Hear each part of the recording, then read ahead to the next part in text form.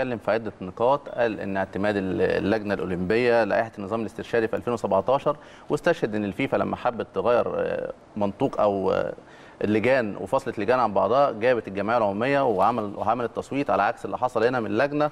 الحقيقة كمان فكرة إن هو يعني ملوش حق الاستئناف ده موضوع لازم يتم مراجعته. مفيش تحقيق معاه موضوع لازم يتم مراجعته طالما إحنا قادرين إن إحنا نمنع رئيس نادي البعض التجاوزات أو التصريحات. بعدم المشاركة في أي نشاط رياضي لمدة ثلاث شهور. طب ده في ناس كتير جدا سمعت صوت وصورة الاساءات ليها داخل اتحاد كرة القدم ومفيش أي قرار اتحول للجنه الانضباط. لدرجة إن حتى النادي الأهلي الشكوى المقدمة رسميا من النادي الأهلي ومش هنقول النادي الأول في مصر ولكنه من أندية الدوري الممتاز في مصر لم يتم عرض الشكوى على لجنة الانضباط من الأساس. ولما اتسأل ليه الكلام ده قال مش عايزين الاهلي يحكم برغم ان إحنا قلنا ان إحنا عايزين اللوائح تحكم. اعتقد علامات استفهام كتير جدا على اللجنة الخماسية خاصة انها كانت جاية رفع شعار الاحترافية والعدالة والشفافية. وتعالوا نفكر رئيس اللجنة الخماسية الأستاذ عمرو الجناني بتصريحاته اللي كان بيقولها قبل بدء المسابقة. ابقى زملكاوي. أنا مصري. والمهمة دي دي مهمة وطنية ودي للبلد. إن أنا لازم أعمل حاجة. أنت بتنسى أي انتماءات.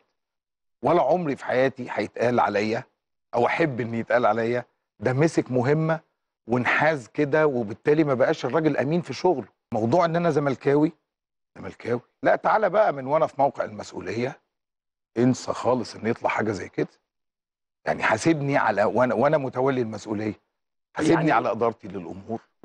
هنحضر لائحة وهنحضر ورقة. هتطبق على أكبر وأقدم نادي وتطبق على أصغر نادي. احترامي للجميع وكل الأطراف اللي موجودة في المنظومة الكروية فوق راسي من فوق. بس أنا عندي قانون بيتطبق. محدش هيجبرني إن أنا ما أطبقش قانون وما أطبقش لائحة. أنا مش عايز حاجة خالص. أنا جاي. يا هنعمل الصح. يا لا إله إلا الله محمد رسول الله.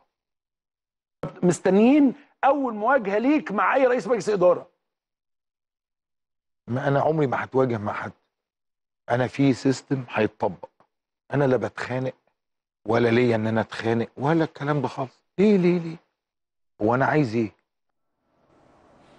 إحنا بندعو الأستاذ عمرو الجنايني يراجع تصريحاته اللي قالها خاصة لما قال أنا عندي لائحة وعندي system مفيش حاجة اسمها عقوبة على نادي كبير أو نادي صغير.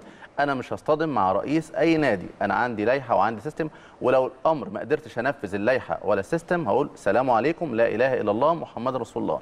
أعتقد يا أستاذ عمرو الأمور بقت واضحة بشكل كبير جدا. عقوبة مباشرة ثلاث شهور منع رئيس نادي من عدم من المشاركات الرياضية في الوقت اللي فيه عند حضرتك شكاوى ما تحولتش للجنة الانضباط أعتقد هنا بقى في ازدواجية تماما ما بقاش في العدالة اللي حضرتك بتتكلم عنها ما بقاش كمان في الشفافية في التعامل ما بقاش كمان في احترافية خاصة بالزبط. وإن اللوائح أصلا ما اتبعتتش للأندية أعتقد موضوع صعب جدا وأعتقد محتاج تراجع التصريحات دي مرة ثانية وتسمعها مرة واثنين وثلاثة ونتمنى تنفيذ جزء منها حتى. إحنا بنؤكد يا أحمد على احترامنا لكل الأشخاص اللي ذكروا وما كانتش قضياتنا العقوبات الناس كلها أوضحت وجهة نظرها من حق الطرف الثاني له حق الرد كامل ولكن حبينا نؤكد على فكرة إن غياب اللوائح زي أحمد ما قلنا وعدم عرضها والازدواجية في المعايير هيؤدي لمشكلة كبيرة جدا.